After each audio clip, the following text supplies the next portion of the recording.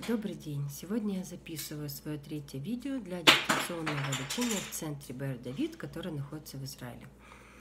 А, в этом видео я буду говорить об успехах своего сына, которые произошли за последние пару месяцев, хотя, наверное, нужно брать в расчет ну, с самого начала сентября месяца.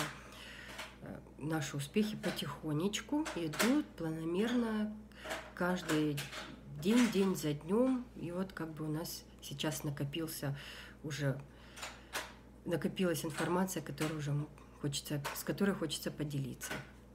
Первое у нас ушла нервозность, истерики, скандалы, драки. И ребенок стал э, достаточно спокойным в эмоциональном плане. У него ушли стимы практически, вернее как, они по большей части они отсутствуют, но если у него какая-то происходит стрессовая ситуация, я вижу, что стимы все-таки где-то проявляются. Э, вот то, что ребенок стал э, спокойным, я считаю, ему дало хороший толчок для его дальнейшего развития. У него улучшилось понимание обращенной речи. Он в плане того, что он стал реагировать на просьбы, там, помоги, подними, подай и я вижу, что если он что-то не понимает, что он должен, что я, что я хочу от него, то я как бы ему помогаю и показываю это, надо там туда. Но в принципе он начинает проявлять заинтересованность в том, чтобы что-то что тебе сделать. Он стал лучше смотреть в глаза. Э, он стал более физически активным в плане того, что вот у нас сейчас зима, и мы катаемся на санках. Я вижу, что этот процесс ему нравится, он смеется, он тащит эти санки на гору. В принципе, он достаточно активно радуется этому.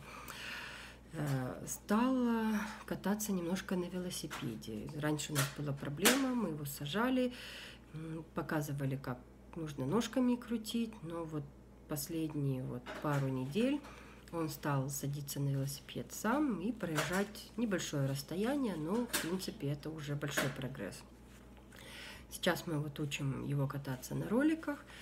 Ну и у нас тоже, если сначала это было ругань, не хотел, то сейчас я смотрю, начинает где-то уже лучше свое тело чувствовать, ну и как бы соответственно он уже проявляет заинтересованность в процессе. Он стал более сообразительным. Вот свою любовь к цифрам и буквам он стал проявлять в новом русле. А, он любит кроссворды разгадывать, он любит судоку, а, он где-то находит какие-то игры достаточно сложные, разбирается в, нем, в них сам и приходит к тебе за помощью. В принципе, у него сообразительность, я вижу, что очень повысилась. Стал также более любопытным. У нас сейчас начались проблемы из-за этого в магазинах, потому что мы, ему, нач... ему нравится бегать, смотреть, трогать, все как бы его кругозор расширился, и, соответственно, в его кругозор попадаются новые новые детали, которые нужно изучить. Вот. Ну, немножко это усложняет сам процесс похода в магазин, но, в принципе, это достаточно положительный, положительное качество на сегодняшний день. А, стал лучше применять речь, но все-таки это, конечно, предложение из двух слов, не из трех, но все же он стал более активно ее применять, эти слова. Хотя в его возрасте пять с половиной лет это, конечно, достаточно большое отставание в речи. Также он стал играть со своим младшим братом. Утром он бежит и ждет, пока он проснется, залазит в его кроватку, и потом там дурачатся, бесятся, играют в холобутки.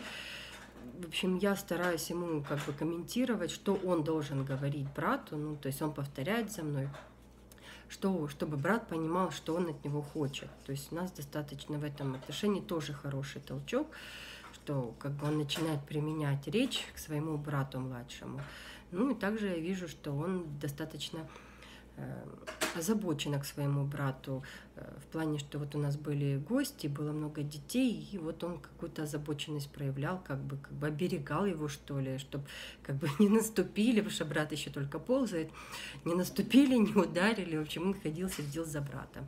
В принципе, вот у нас на сегодняшний день достаточно яркие и большие сдвиги, просто колоссальные успехи. Большое вам огромное спасибо, Давид, за вашу помощь, поддержку. Я просто, я просто счастлива. Спасибо вам большое.